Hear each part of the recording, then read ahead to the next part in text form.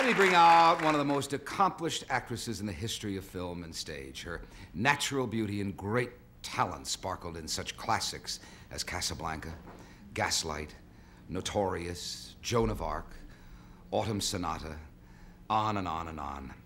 She's told the story behind those films and her life in this new autobiography. Ingrid Bergman, My Story.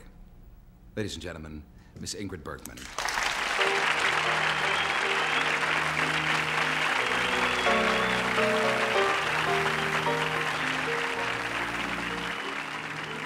I know you're bored to death with the, the story of the Stromboli filming and Mr. Rossellini.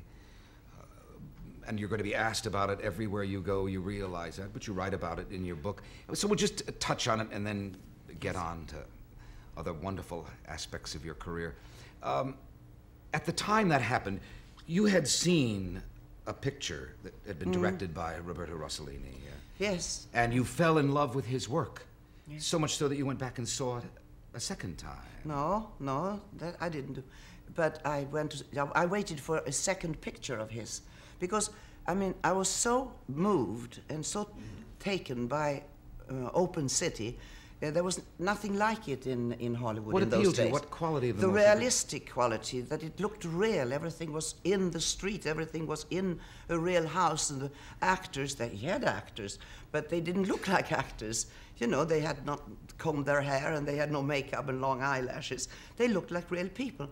And then, of course, the story is really so moving about Rome and the open city during the war. Did you feel at that point in your career, though, that whatever you had done in Hollywood, although it was wonderful, was a little too glossy and, yes, and too I had started to feel that. I had been 10 years, and uh, though I was very lucky, I, I'm not knocking Hollywood because Mm-hmm. I had a very good time. Good directors, good stories, good leading men. And it was just that in me is a quality I want to change. I wanted to do something different, and I thought another movie, well, similar to this one. And then I see this movie, and of course, immediately I wanted to go to Italy and do a movie like that. So you then wrote a letter to Mr. Rossellini. Yes, I've waited for that second picture because I thought that maybe, you know, there are people that make one marvelous movie and then they disappear. So I thought I better wait until I find another. In the meantime, I tried to find out who Mr. Rossellini was and where he lived and could I find his address. I saw the movie Paisa. And then I knew. Now I'm going to write to him because I thought he'd never look for me in Hollywood. So he got my letter where I, you know, I said I could speak several languages and could I come to Italy and make a picture? Was there any part that I could play?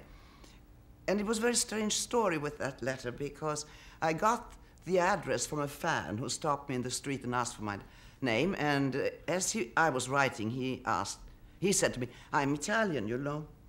And I said, Have you heard about Roberto Rossellini? He said, Sure, that's our great director. Where does he live? I said, Rome, send it to Minerva Film. So I sent it to Minerva Film, and Minerva Film burned down. Exactly when my letter arrived, it burned. But it was saved. It was a little, little burned in the, it, but the letter was there. And um, how strange it is in life that if my letter had been burned, uh, I would never have gone to Italy. I would never have written a second letter.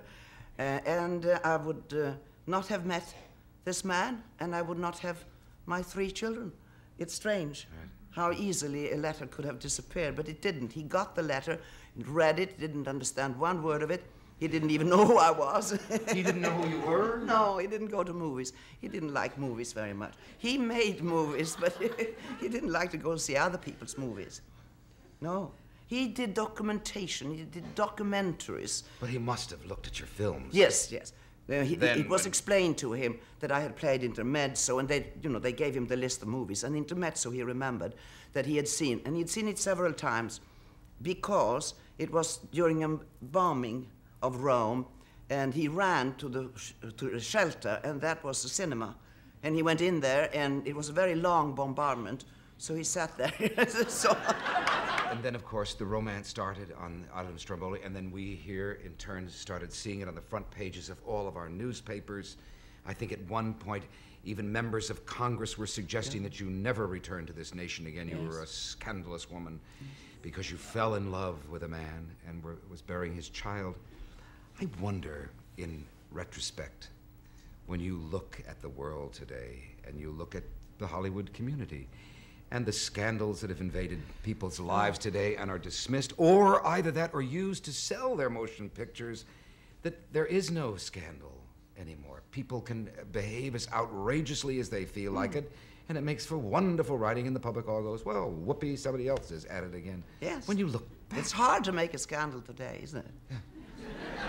we'll try. is there bitterness when you look at what happened to you in your life and your career and No, there's no bitterness. I don't have that in me. Oh, good. I don't have that. No, I, of course I was hurt. Who wouldn't be hurt to be called, you know, evil woman and I was uh, uh, corruption and I, I, I was a danger for American womanhood. Right, right. Well, you know, I thought it was just me and I don't say that I did the right thing at all. I felt very guilty and very ashamed, but there I was. But at least I stood up for what I had done, and uh, I was going to face the world. And I also, uh, when everybody was against me, I even said I, I shall quit the screen forever if that helps, because I was afraid I had ruined Joan of Arc. It was still running, and I had ruined the picture Stromboli, and uh, so I, you know, I thought of finishing my career.